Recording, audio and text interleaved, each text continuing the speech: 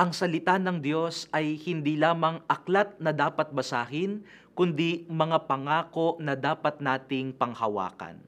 Ako po si Father Kali ng Manila Cathedral. Halina po at magkapet pandasal.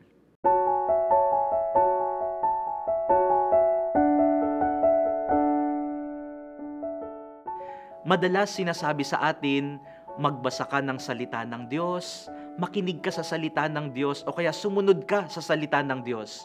Subalit minsan, habang nagbabasa ako ng ebanghelyo sa misa, ay napukaw ang puso ko sa isang kataga. Ang sabi doon, the people are holding on to His word.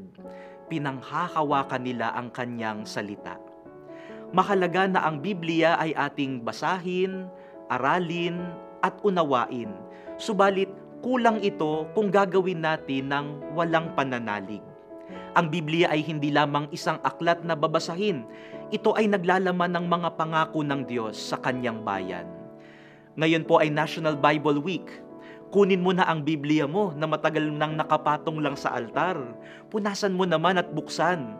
At sa mga kwentong mababasa mo dyan, makikita mong ang Diyos ay tapat sa kanyang salita at tumutupad sa kanyang pangako.